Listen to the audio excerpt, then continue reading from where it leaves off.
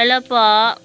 Sa vlog na ito, tuturo ko po sa inyo kung paano tayo makapag-refund sa ating parcel. Halimbawa, yung in order natin is mali yung size na sinid ng seller or may depekto, damage, ganon. So, pwede po siyang ibalik in a process way. So, yan nga po, uh, nitong araw, mga nakalipas na araw lang, meron po akong in order sa Shopee na hindi po maganda yung product na yon Kaya, binalik ko po siya. So, ituturo ko po sa inyo kung paano po ang tamang pag-refund. Huwag po kayong pumunta agad sa GNT. Ako kasi pumunta po ako doon. Pinaliwanag sa akin kung paano ba ang tamang pag kasi hindi basta-basta iiwan mo sa kanila yung ano, yung parcel para lang ibalik nila sa sealer. Hindi gano'n. Kailangan meron kang gawin dyan sa cellphone mo. Kaya iyan, tuturo ko sa inyo.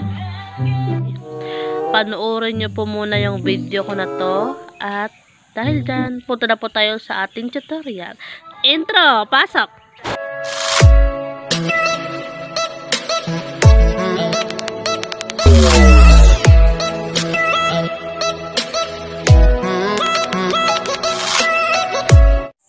Ayan, nandito po tayo sa ating Shopee app. Ngayon, click po natin ng Me. Pagka-click ng Me, click po natin ng To Receive.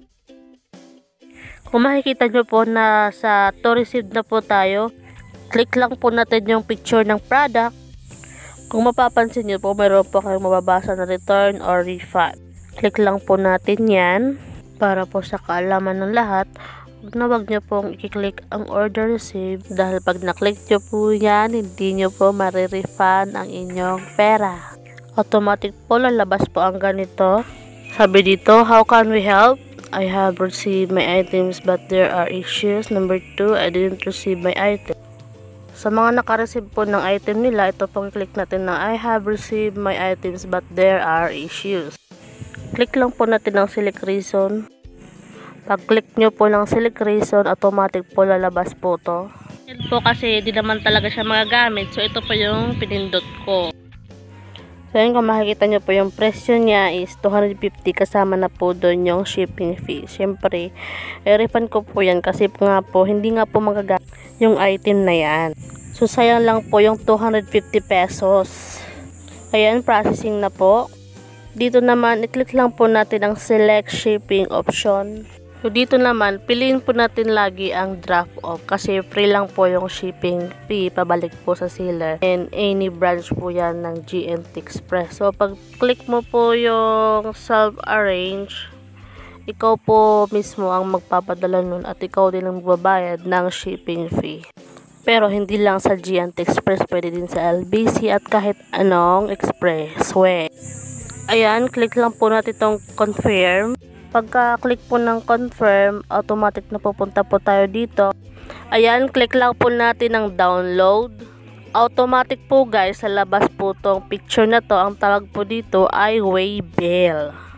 Para po sa inyong kaalaman, hindi po ito download kapag wala po kayong application na PDF file. Kasi ako, ganun ang ginawa ko. So, dapat open browser din para madaling ma-download automatic mapupunta po yan sa PDF file. Kung makikita po yung 3 dot na yan, click nyo po yan para ma-open browser. So, ayan, dapat daw yung parcel, i-repack din daw kung anong mukha ng dumating sa'yo, ganun din mukha ng ibabalik mo na siya. Ayan guys, na-print ko na po to. Ngayon, i-attach na po natin to sa parcel na ibabalik natin. Ayan guys, half day lang po nung ma-receive ko po yung refund po. At ayan, nandun na po sa aking shopping pay. So, bago po kayo gumawa ng refund, ay dapat activated po yung inyong Shopee Pay. Please don't forget to subscribe, to like, and share this video. Thanks for watching guys! Bye-bye!